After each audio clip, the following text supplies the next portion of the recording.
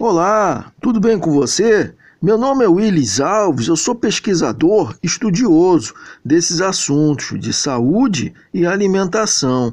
E o vídeo de hoje é sobre a unha de gato. Você conhece? Mas antes, já deixa seu like aí, já deixa seus comentários, ativa o sininho para receber as notificações de novos vídeos todas as terças e quintas-feiras e inscreva-se no canal. E roda VT!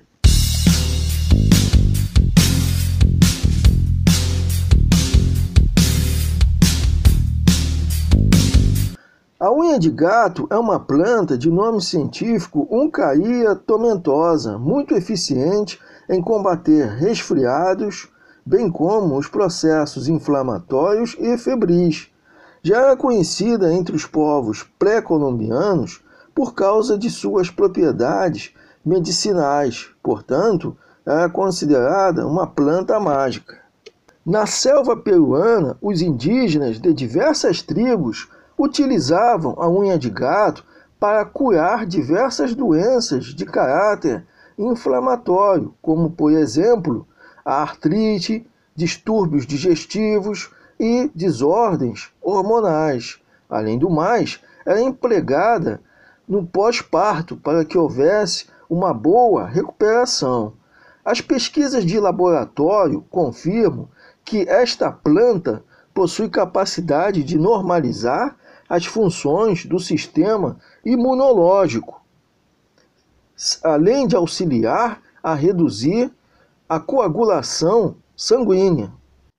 A unha de gato possui propriedades medicinais porque são imunoestimulantes, anti-inflamatórias, anti-alérgicas e que favorece muitos benefícios para o trato digestivo, além de desintoxicar e ser citostática, ou seja, inibir a multiplicação celular.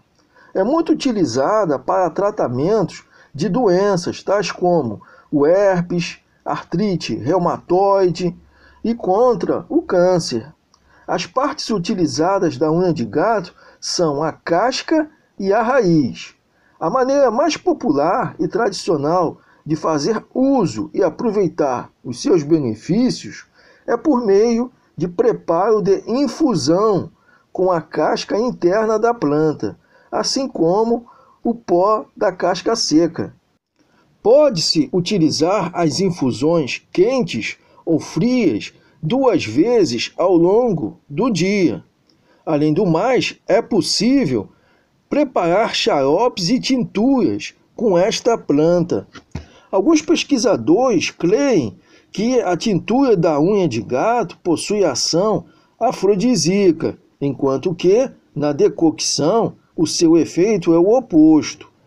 Esta planta está contraindicada para gestantes, lactantes, pacientes que realizaram cirurgias de transplante, pacientes com desordens imunológicas, bem como pacientes com esclerose múltipla. Lembrando aí que a esclerose múltipla é uma doença autoimune, ou seja, as próprias defesas do corpo atacam o próprio, o próprio organismo. Não é recomendado fazer uso da planta após o tratamento de câncer do tipo quimioterapia. E você, o que, que achou desses efeitos, propriedades desta planta unha de gato? Deixe as suas respostas aqui nos comentários. Dá um like aí, ativa o sininho para receber as notificações de novos vídeos todas as terças e quintas-feiras e inscreva-se no canal. E muito obrigado!